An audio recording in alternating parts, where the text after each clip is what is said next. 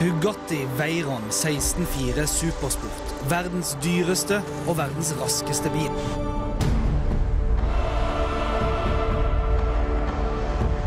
Almost every piece of this uh, car is uniquely handcrafted.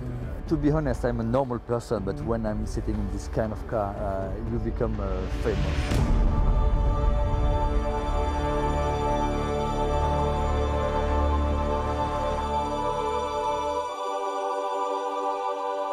Det er ikke verdens største bil. Den er bare 115 cm høy. Men på alle andre tabeller troner han høyt over de fleste andre. Fart, akselerasjon, bremsekraft og pris. Jeg kan nesten ikke se for meg noen skal kunne lage noe bedre enn dette her. Bilen minner meg ikke om noen annen bil. Det er som bilens Fabergé-egg. Ekstrem luksus og ekstremt håndverk. På full speed sluker motoren drivstofftanken på nesten 100 liter i løpet av 12 minutter. Det er i grunn bra, for er hastigheten rundt 430 km i timen, er faktisk dekkene slitt ut etter 15 minutter. Akselerasjonen er et eget kapittel.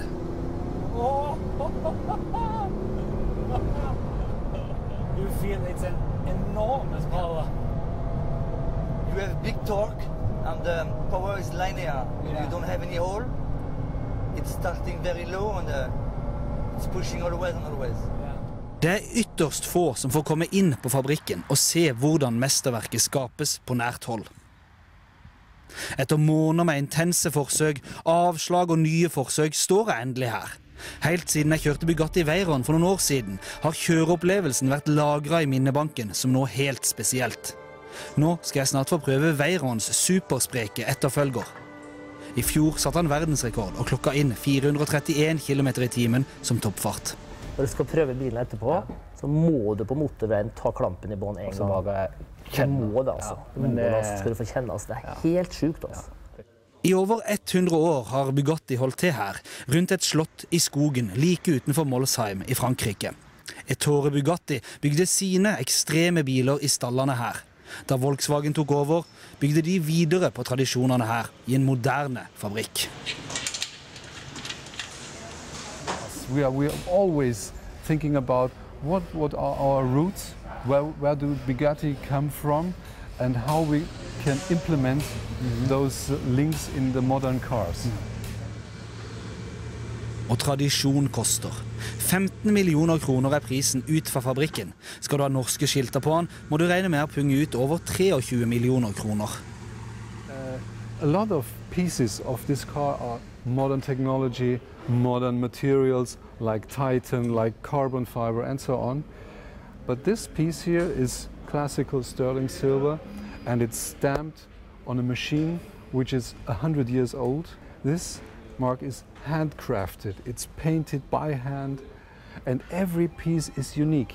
And the price just for the mark will probably be Uh, we, we don't sell it uh, separately, but uh, you, you would get a cheap car for this.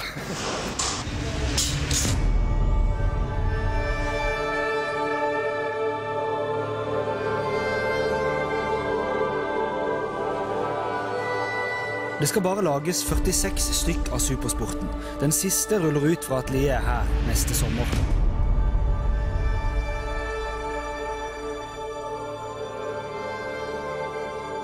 Olivier er testsjåfør, eller offisiell pilot som det heter hos Bugatti. For å få lov til å kjøre vidunderet må han høre nøye etter når han viser frem bilen.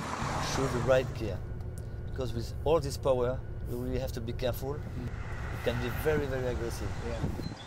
Bakspoileren kommer opp når en passerer 220 km i timen. Det går fort fra motorveikrusing i 90 til superfart. Der så han, ja.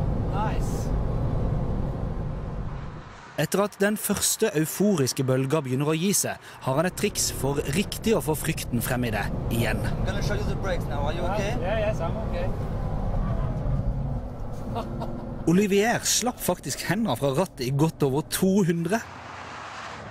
Det hevdes at bilen skal bremse fra 400 km til null på rundt 10 sekunder, noe de aller færreste får teste ut. Totalt lages det 300 ordinære Veyron og supersporter, og Arne Fredli er den eneste nordmannen jeg vet om som faktisk eier en Bugatti Veyron. Han har kjørt den nye supersporten flere ganger. Olivier gjør jobben sin og tar Arne med på enda en overbevisningstur. Nå har du akkurat vært ute i supersporten, Arne. Ja. Åssen var det? Nei, det er helt sinnssykt. Jeg må, altså det, det skulle vært noe som alle smågutter skulle fått, fått, fått prøvd. Bugatti Veyron var verdens raskeste bil. Så ble den rekorden slått. Da satte de tyske Bugatti-eierne seg ned og la en plan for å sikre seg rekorden for en lang periode. Trimminga økte effekten fra 1001 hester til 1200 hester og 1500 newtonmeter. Man skulle jo tro at den gamle Veyron var toppen av kransekaka, og det er det jo egentlig også. Så da må vi kalle det her toppen av spiret, eller flagget på toppen. For dette tror jeg er endestasjon, men 431 på en trygg måte, eller trygg og trygg, det er liksom maksimum, tror jeg. Selv om bilen er like lett å kjøre som en Golf, så lenge du er forsiktig med gasspedalen, er det lett å bokstavelig talt dumme seg ut om en gjør noe overila. Før jeg får kjøre, må jeg signere en egen kontrakt. Dette er et verdipapir, altså. Det er papiret som gjør at jeg får lov til å kjøre Bugatti Veyron Supersport. And where you want my hair? Så det store øyeblikket. Alene i verdens dyreste bil.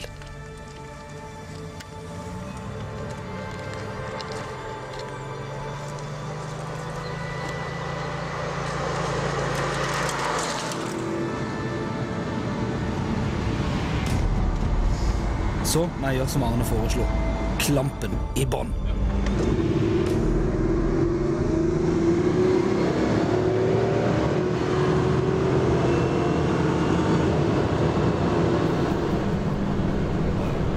Det er helt vanvittig å oppleve den akselerasjonen som er her. Det som er så gøy med denne bilen, er at du har et eget meter som viser hvor mye hester du bruker. Og det å se liksom at du nærmer deg 1200 hester, det er helt uvirkelig. Jeg suger denne børsa her, altså.